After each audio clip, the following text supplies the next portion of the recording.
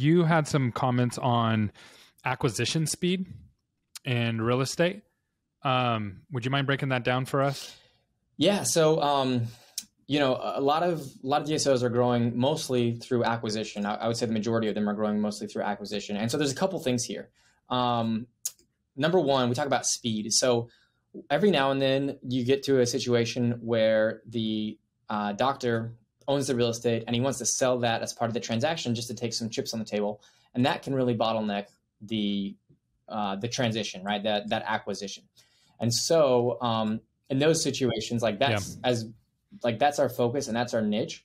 And so we like buying those types of real estate. Um, and so that's something, you know, if you can find a partner that's available to buy the real estate from the doctors as they're looking to sell, uh, groups like if you don't want to use us, there's there are groups that do that, right? And so there's groups that will buy that real estate and you can partner with them, and that way you can really speed up your the speed of your acquisitions and making sure that you're if you're getting bottlenecked, at least it's not from the real estate standpoint. And the other thing about growing through M&A is that a lot of times um, w- when you're acquiring a new location, you assume that they have their real estate figured out. And it's true to an extent because that's why they popped up on your radar to begin with, right? They're obviously doing some things right.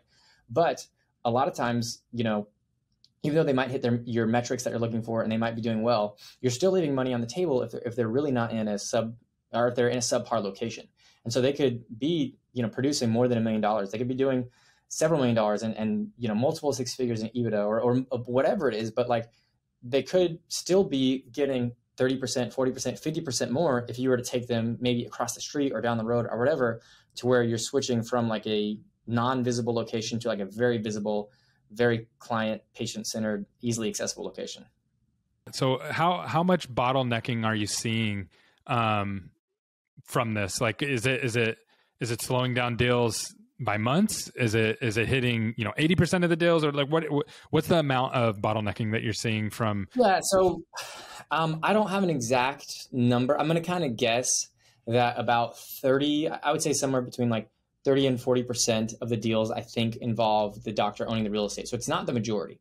Um, and then of those, um, some of them, you know, it could it could slow it down maybe three or four months. Some of them it slows down indefinitely, right? And so um, it's just it's very situational. It depends on what the the doctor that's partnering that's that's affiliating with DSO is looking to get out of it.